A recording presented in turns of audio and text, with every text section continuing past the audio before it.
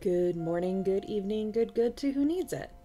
So, back in December, I had started doing a daily video rant on mental health and wellness that I'm going to compile into a long essay video in July, Christmas in July being the initial gag. But I had wanted to take a second to talk about mental health just kind of quickly now.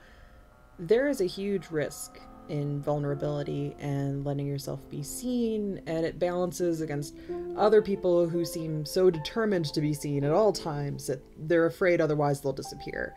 Uh, I've always been on the first end of the spectrum, where I would rather be quiet and ob- obtrusive because attention seeking had really, really negative connotations in my family growing up.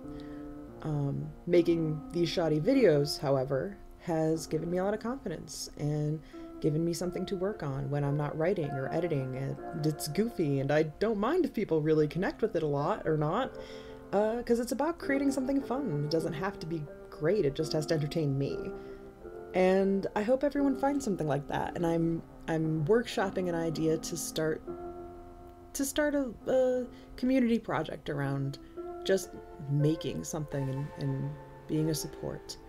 So if you're interested in something like that, let me know. And I'm always open to it. Thanks for listening.